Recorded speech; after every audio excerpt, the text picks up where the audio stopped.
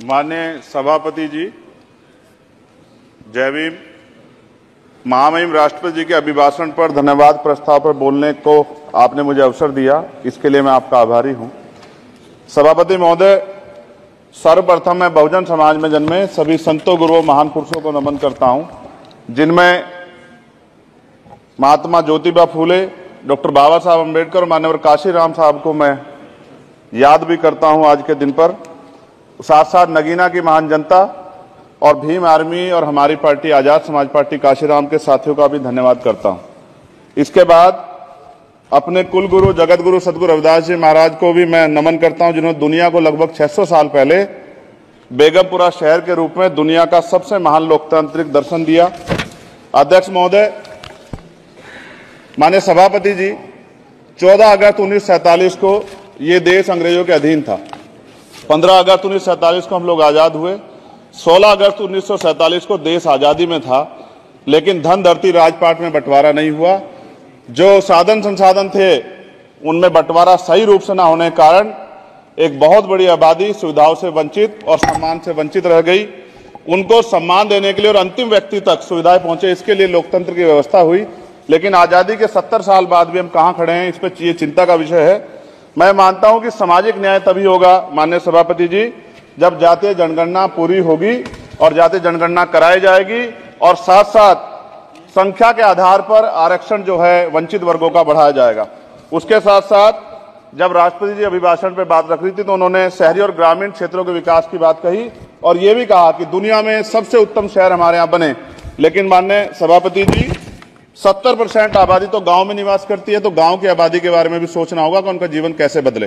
मान्य सभापति जी उच्च शैक्षणिक संस्थानों में बहुजन समाज के जो छात्र हैं, उनकी, उनके साथ कास्ट एट्रोसिटी हो रही है, निरंतर उनकी हत्या हो रही है साथ साथ जो सरकारी कर्मचारी हैं दफ्तरों में उनके साथ भी, जो एस सी ओबीसी और मुस्लिम और अन्य धार्मिक अल्पसंख्यक उनके साथ भी मान्य सभापति जी, जातिगत और धार्मिक जो है, शोषण किया जा रहा है। इसलिए मेरी मांग भी है कि पुरानी पेंशन को भी अध्यक्ष जी बहाल किया जाए। जो कर्मचारी देश की सेवा में लगे हैं, उनका भी सम्मान होना चाहिए। साथ साथ सभापति जी, भाजपा ने चुनावी लाभ के लिए सबका साथ, सबका विकास के नारे दिए, जो खोखले हैं, क्योंकि 10 साल में दलित, पिछड़े आदिवासी, मुस्लिम और अन्य धार्मिक अल्पसंख्यक के जो अत्याचार हुए हैं, वो किससे छिपे हुए नहीं है? ये गलत है, ये बंद होना चाहिए।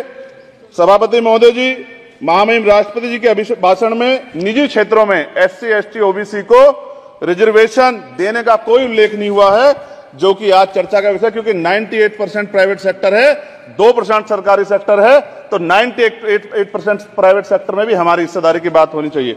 मान्य सभापति जी, आशा कार्यकर्ताओं, आंगनबाड़ी वर्करों, भोजन माताओं के वेतन वृद्धि पे भी कोई उल्लेख नहीं हुआ है, वो भी अभी नंगे, उन पर भी सोचना पड़ेगा।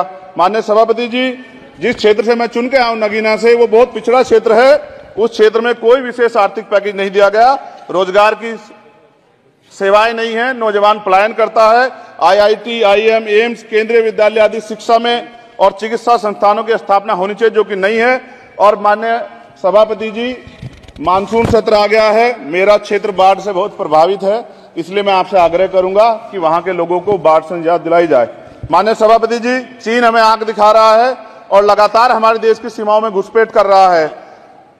इसलिए अग्निवीर योजना को हटाकर पुनः सेना भर्ती शुरू की जाए और साथ साथ भारत की सबसे प्राचीन व बहादुर रेजिमेंट में से एक चमार रेजिमेंट को पुनः बहाल कर, बहाल करा जाए ऐसा भी मेरा आपसे आग्रह है।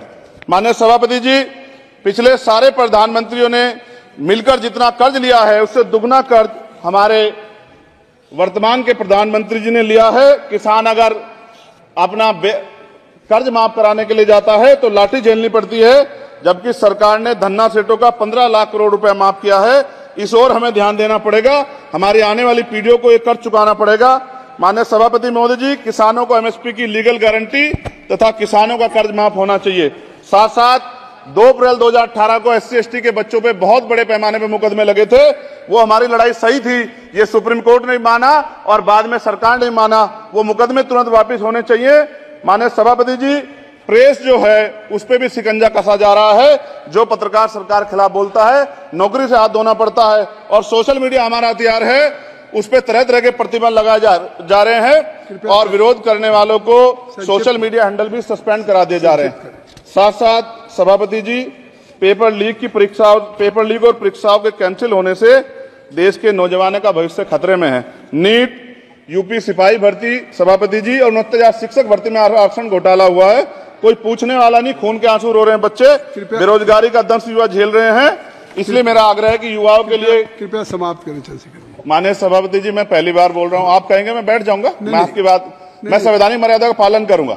मगर हम तो माननीय सभापति जी सुन ही रहे हैं। आप बोलिए। एक मिनट धन्यवाद धन्यवाद एक मिनट और बोलिए। अध्यक्ष सभापति जी नारी सम्मान की बात करने वाली सरकार हमने मणिपुर देखा सर। हमने पहलवान बेटियों का हर्ष देखा सर। और हमने सर हाथरस की बेटी का हर्ष देखा सर। और हाथरस के परिवार को जो वादा किया था सरकार ने वो भी पूरा नहीं किया। और महिलाओं में भी स्पेशली दलित पिछड़े और मुस्लिम वर्ग की आदिवासी वर्ग की महिलाओं के साथ आज भी एनसीआरबी का डाटा कहता है सर जो जुल्म हो रहा है वो सहनीय नहीं है सर। साथ साथ कोविड में तैरती हमने कोविड में बहुत सुना सर। कोविड में तैरती लाशें भी गंगा में हमने देखी है सर। और मजदूरों का हाल भी हमने देखा है। सभापति जी बस सब समाप्त कर रहा हूँ। नोटबंदी पे छोटे मजले दो की जो कमर टूटी वो भी हमने देखी है। सभापति जी, शैक्षणिक संस्थानों, विश्वविद्यालयों में, चिकित्सा संस्थानों में ओबीसी एसटी एसटी के योग्य अभ्यर्था- को एनएफएस करके जिस तरह निकाला जा रहा है लेटर एंट्री करके जिस तरह हमारे रास्ते बंद किए जा रहे ये भी हम देख रहे हैं सभापति जी। साथ साथ मेरा ये कहना है, सर, ये सबका इशू है कि प्राइवेट कर्मचारी, सर, और सरकारी भी कई जगह पे आठ से ज़्यादा घंटों से काम करते हैं। और उनको जब, सर, उचित वेतन भी नहीं मिलता तो न्यूनतम वेतन बीस हज़ार रुपए तय हो और 24 घंटे की ड्यूटी। उदाहरण के तौर पे यूपी पुलिस सर बहुत पूरा काम करते हैं वो लोग। वो राज्य के विषय हैं आप यहाँ सर मैं आपके आपके राज्य सरकार के के लिए भी आपके संज्ञान में डाल रहा हूँ। विषय सर पुलिस सब जगह है सर। लेकिन सवाल ये है सर बहुत पसीना बातें हैं। आठ घंटे की ड्यूटी और वेतन विसंगतर बोर्डर स्कीम से उनको जो है बाहर किया जाए। माननीय सभापति जी एक मिनट चाहिए सभापति जी। राष्ट्रपति जी ने धर्म के बारे में बात की थी। राम मंदिर से पहले हमारे गुरुघर तुगलकाबाद का फैसला आया था राष्ट्रपति जी। वो सभापति जी अभी तक दिल्ली में स्थित सदगुरु रविदास जी महाराज का गुरुघर नहीं बना। साथ साथ सभापति जी अपनी बात को खत्म करते हुए मैं आपसे कहना चाहता हूँ कि जितना देश दूसरों का है सर इतना हमारा भी है हम मरने के लिए पैदा नहीं हुए जो चाहता हमारी हत्या कर देता है। मूछे रखने पे घोड़ी पे बैठने पे मटकी छूने पे हमारी हत्या हो रही है। क्या बदला है सर सत्तर साल बाद भी? दलित पिछड़े मुसलमानों पे हिंसा नहीं रुक रही है सर। मेरा आपसे संरक्षण के साथ ये आग्रह है कि इन घटनाओं को रोका जाए और देश किसी के किसी की बपोती नहीं है। देश संविधान से चलता है सर। और संविधान से चलेगा संविधान छेड़खानी बर्दाश्त नहीं की जाएगी सर।